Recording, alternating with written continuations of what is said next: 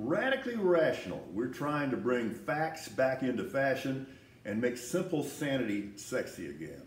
You know, part of being rational is being a good listener or wanting to be a good listener and asking good questions. So I want to ask you this this morning in a completely friendly, rational, non confrontational way.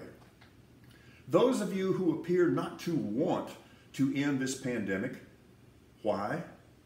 Those of you who are either vaccine resistant or vaccine hesitant, why?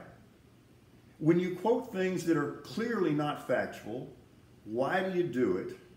When you say that the vaccine has not been tested, is not safe, is not effective, it's simply not true. So why do you do it? When you try to connect wearing a mask with constitutionally guaranteed freedoms. Why do you do it?